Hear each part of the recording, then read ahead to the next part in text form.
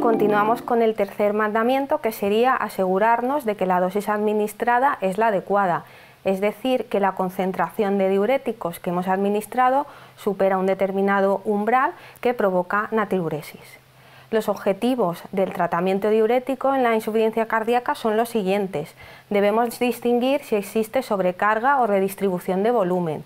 Debemos intentar lograr la descongestión efectiva.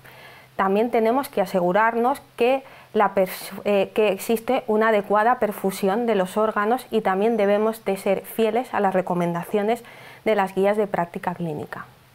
Un concepto que debemos conocer es el de respuesta diurética, que definiríamos como la capacidad de inducir natriuresis o diuresis tras la administración de diurético.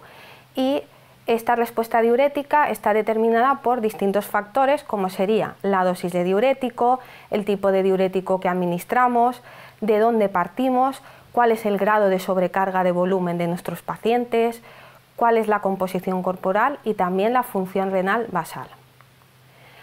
Un otro concepto que también debemos conocer es el de resistencia diurética, que sería la falta de respuesta al tratamiento diurético que se manifiesta por una concentración baja de sodio en orina a pesar de dosis máximas recomendadas de diuréticos.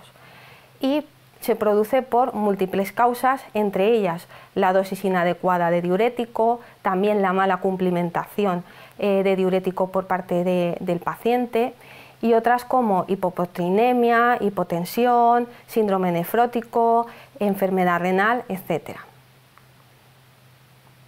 En nuestro día a día, en las unidades de insuficiencia cardíaca, podemos observar que existe una gran heterogeneidad en la respuesta diurética una misma dosis de diurético administrada a dos pacientes distintos nos proporciona una distinta eh, respuesta diurética y de aquí nos surge el concepto de eficiencia diurética.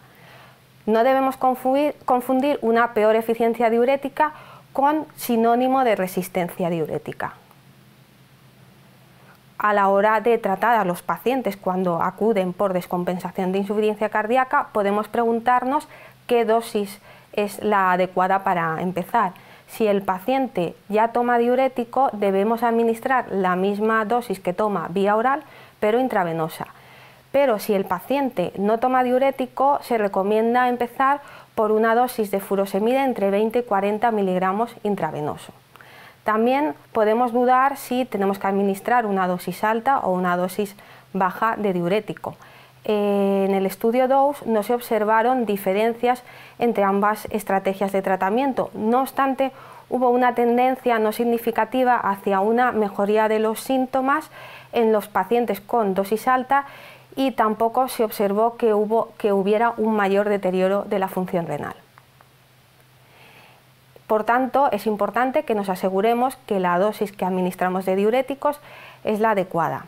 Es decir, que la dosis de diurético, la concentración plasmática, debe superar un umbral y es para provocar natriuresis. En pacientes con insuficiencia cardíaca y además pacientes que presentan insuficiencia renal, este techo de umbral se reduce y además la curva se desplaza hacia la derecha, lo que eh, nos fuerza o lo que no, provoca que tengamos que utilizar dosis más altas de diuréticos para poder conseguir una descongestión adecuada.